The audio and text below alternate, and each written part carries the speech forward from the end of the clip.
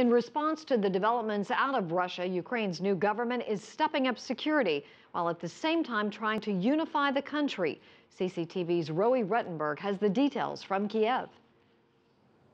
Ukraine's new Prime Minister Arseny Yatsenyuk phoned the U.S. Secretary of State John Kerry minutes after that Russian vote and conveyed to him that Ukraine views any military move by Russia as aggressive. He also phoned the Speaker of the Russian Duma, the upper house, the upper house there, and told him that any weapon or force used against Ukrainian citizens would be viewed as a violation of an international provocation. His words there. Yatsenyuk then called an urgent meeting of his National Security Council, his new cabinet there, of course, in attendance. He said his country's military is prepared and insisted that he hasn't, nor would he use force against uh, the citizens of Crimea. Now, that's an important footnote because Russia claims its additional uh, troops are needed to protect Russian speakers in Crimea. Well, meanwhile, Yulia Tymoshenko, the former prime minister who was freed from prison last week, has urged the EU to sign its association with Ukraine as quickly as possible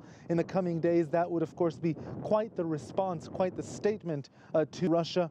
And heavyweight boxing champion Vitaly Klitschko, who's quite the populist, popular politician here, addressed the crowd of protesters in Independence Square, the Maidan, demanding Ukraine's deal with Russia over its Black Sea fleet should immediately be scrapped. He called this a declaration of war and said that Ukraine's unity must be protected.